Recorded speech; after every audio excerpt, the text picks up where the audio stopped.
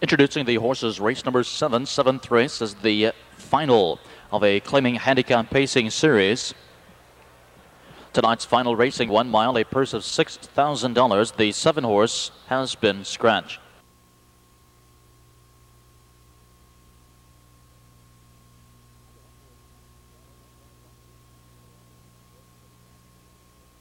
And the one horse Night Talon owned by Ron and Marjorie Anderson of Grove City. Dan Ader, the trainer driver. Number two, TMJ, owned oh, by Scott Mogan and Cindy Strassamore of Asheville. Scott Mogan, the trainer driver.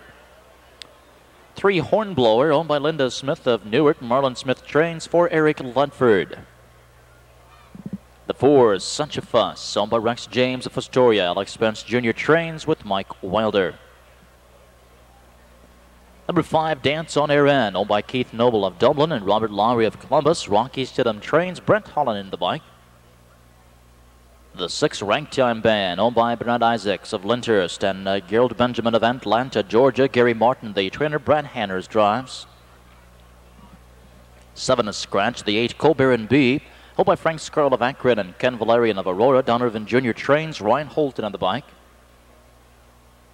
Number nine, Aaron Boy, owned by Mike Boyer of East Palestine, Ohio. Mike Bohemus, the trainer driver.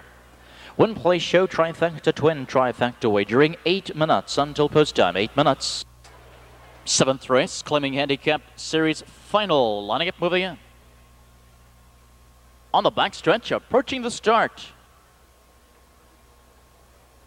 And uh, they're off, and it's such a fuss. Sent first for the lead. Night Talon from off the wheel is second. From the outside in third, ragtime band.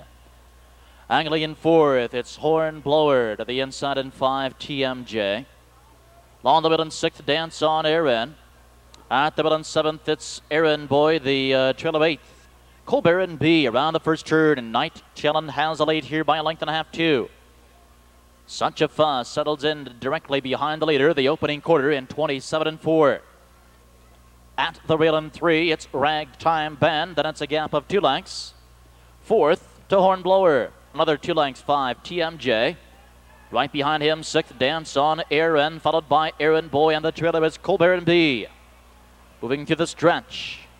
And now the back end beginning to move here. It's Night Talon with the lead.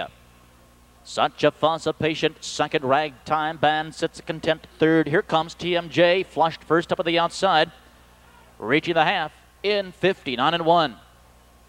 The backside they go, and on the front it's Night Talon 5 to 1 with a lead here.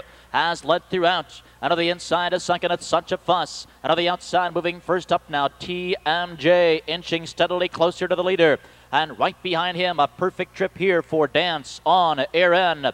Ragtime Band is locked in tight, five of the inside. Aaron Boy third over the outer flow, sixth.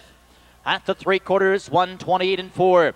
Moving to that upper turn and on the front, Night Talon continues the lead. Such a fuss, well rested on the inside, poised to strike. TMJ can't go no more to the outside, three wide. Here comes Dance on Aaron.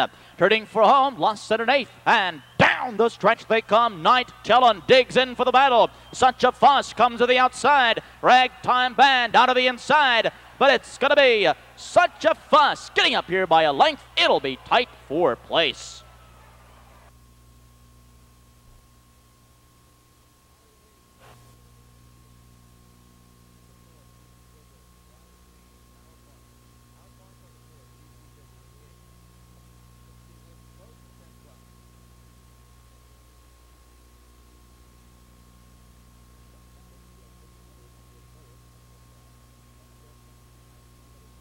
Trackside is the official winner, number four, Such a Fuss. Seven-year-old son of Amadisha for the most happy fellow mare, J.M. Happy. Owned by Rex James of Astoria, Ohio. Alex Spence Jr. trains Mike Wilder in the sulky. Fourth win of the season for the seven-year-old pacer, the mile in 156 and 4.